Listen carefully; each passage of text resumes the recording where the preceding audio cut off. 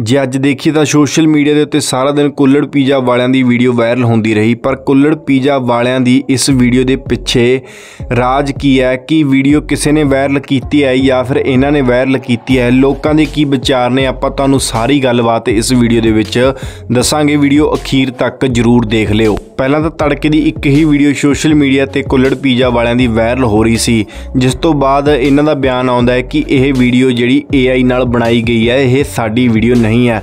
ਜਿਸ ਤੋਂ ਬਾਅਦ ਲੋਕਾਂ ਦੀ ਅਖਬਾਜ ਵਰਗੀ ਹੈ ਤੇ ਲੋਕਾਂ ਨੇ ਫਿਰ ਵੀਡੀਓ ਦੇ ਵਿੱਚ ਜਿਵੇਂ ਕਿ ਟੈਟੂ ਜਾਂ ਫਿਰ ਆਲੇ ਦਾਲੇ ਪਿਆ ਸਮਾਨ ਹੋਰ ਵੀਡੀਓ ਨਾਲ ਮੈਚ ਕਰਕੇ ਸੋਸ਼ਲ ਮੀਡੀਆ ਦੇ ਉੱਤੇ ਸ਼ੇਅਰ ਕਰਨਾ ਸ਼ੁਰੂ ਕਰ ਦਿੱਤਾ। ਇਸ ਤੋਂ ਬਾਅਦ ਇਹਨਾਂ ਦੀਆਂ ਤਿੰਨ ਚਾਰ ਕਲਿੱਪਾਂ ਹੋਰ ਆ ਜਾਂਦੀਆਂ ਹਨ, ਜਿਸ ਦੇ ਵਿੱਚ ਸਹਿਜ ਵੀ ਹੁੰਦਾ ਹੈ ਤੇ ਸੋਸ਼ਲ ਮੀਡੀਆ ਦੇ ਉੱਤੇ ਉਹ ਵੀਡੀਓ ਵੀ ਬਹੁਤ ਤੇਜ਼ੀ ਨਾਲ ਵਾਇਰਲ ਹੋ ਰਹੀਆਂ ਹਨ।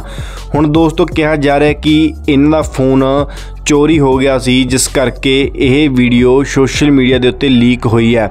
ਬਾਕੀ ਦੋਸਤੋ ਤੁਹਾਡੇ ਇਸ ਦੇ ਬਾਰੇ ਕੀ ਵਿਚਾਰ ਨੇ, ਤੁਸੀਂ ਕਮੈਂਟ ਬਾਕਸ ਵਿੱਚ ਵੀ ਆਪਣੇ ਵਿਚਾਰ ਜ਼ਰੂਰ ਦੇਣਾ, ਕਿਉਂਕਿ ਦੋਸਤੋ ਤੁਹਾਡੇ ਵਿਚਾਰ ਵੀ ਬਹੁਤ ਜ਼ਰੂਰੀ ਹਨ। ਅਤੇ ਚੈਨਲ ਸਬਸਕ੍ਰਾਈਬ ਜ਼ਰੂਰ ਕਰ ਲਿਓ, ਜਿਵੇਂ ਹੀ ਸਾਨੂੰ ਕੋਈ ਹੋਰ ਅਪਡੇਟ ਮਿਲੇਗੀ, ਵੱਡੀ ਅਪਡੇਟ ਮਿਲੇਗੀ, ਅਸੀਂ ਤੁਹਾਡੇ ਤੱਕ ਸਭ ਤੋਂ ਪਹਿਲਾਂ ਸਾਂਝੀ ਕਰਾਂਗੇ। ਧੰਨਵਾਦ ਦੋਸਤੋ।